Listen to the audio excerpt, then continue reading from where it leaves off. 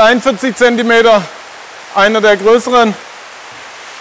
Auch hier wieder eine eingerissene Brustflosse. Ich habe gerade Makoto gefragt, worauf er das zurückführt. Und wir sind da ganz ehrlich zu ihm. Er sagt, das ist Problem von den Futterautomaten in kleinen Becken. Da drücken sich die Koi dann wirklich auf kleinstem Raum. Und da kommt es dann schon vor, dass die Flossen ein bisschen einreißen. Aber er sagt, hat es nochmal betont, das ist kein Problem. Das wächst raus und wird quasi unsichtbar werden.